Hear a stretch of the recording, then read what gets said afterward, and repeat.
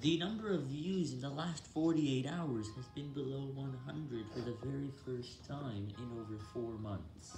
This is very alarming for me, and it looks like my channel has died in terms of views, and I'm also losing subscribers. So,